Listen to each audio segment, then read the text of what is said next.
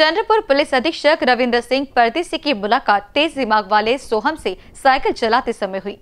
सोहम सुरेश उइकी, जो ज़िले के डोंगर हल्दी गाँव का रहने वाला है, जिला परिषद स्कूल में आठवीं कक्षा की छात्र। पुलिस अधीक्षक से सहजता से बातचीत करते हुए दिख रहा है। इसमें उन्होंने यूपीएससी शिक्षा, रोज़गार को लेकर अपने विचार पेश किए। पुलिस अधीक्षक रविंद्र सिंह परदेसी, सोहम की तेज तरार बुद्धि से आश्चर्यचकित थे। उसकी जानकारी के बिना इस बातचीत का पूरा वीडियो बना लिया। सोहम के वार्तालाप ने महाराष्ट्र की भावी पीढ़ी को अभिव्यक्त किया है। पण त्याच्यासाठी नुसतं येते येते म्हणून काय आपण त्या क्षणाची वाट वाट बघली नाही त्याच्यासाठी क्या बात क्या बात. काय मेहनत करावं लागतं बेटा? सोहम?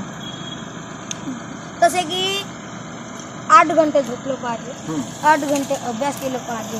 न जवळपास एक घंटा तरी आपल्या मित्रांबरोबर गप्पा मारली पाहिजे कारण मन फ्रेश झालं पाहिजे. आणि माझ्या माहितीतून जवळपास आपण एका आठवड्यातून एक वेळा तरी एक पिक्चर बघितलं पाहिजे.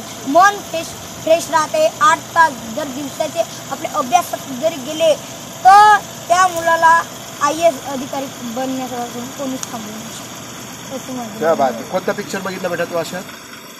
मी नाही. म्हणजे माझे मार्गदर्शक माझे मामा. आहेत. तुझे मामा काय नाव होते? अ, देवीदास मिश्र. देवदास मेश्राम काय करतात ते?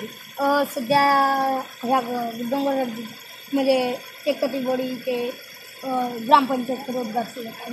अच्छा. तर तुझे बाबा काय करतात बेटा सोहम अ, बाबा आता जे मिळली ते नोकरी करतात म्हणजे अ, जे काम करतात बरं तुझं पूर्ण नाव काय सोहन सुरेश उईके.